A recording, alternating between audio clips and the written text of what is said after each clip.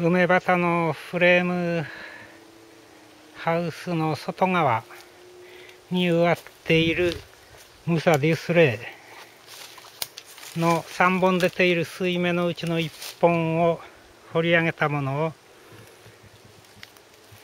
竹林奥の石垣島バナナとこの前移植した裏山から移植したタイベジタブルバナナ苗のやや下の方こちらは擁壁フェンスになっています。からあまり離れていない場所に植えてみました。ここは竹の覆いが多少あります。ので、まあ、霜をある程度防いでくれるかなと思うんですね。まあ、本年本年中にこれからどんどん大きくなってくれるとは思うんですがそれでも別な環境での初年度の越冬の場合にはある程度の暴走とか暴風対策とかができているところを選んであげるのが親切でしょうね。まあ、ここにも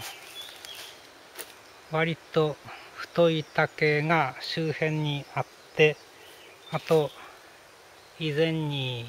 切り倒された竹の根株とかがすぐ間近にありますがこういうものはいずれ土に同化していきますから問題ないと思いますね。まあ、デュスレイもですねムサデュスレイもこの環境でなら何年かしたら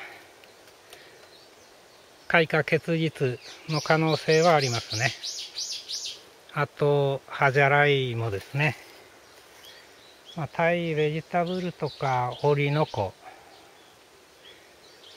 タイベジタブルバナナとかムサオリノコなどは平地の畑でも収穫までこぎつけることができますがまだそういう平地の畑で収穫できたとか収穫の見込みがもう立っているとかいうもの以外の品種についてはやはり最初はこういう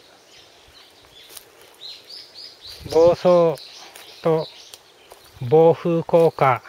がある程度出来上がっている場所に植え付けてあげるのが望ましいと思いますね。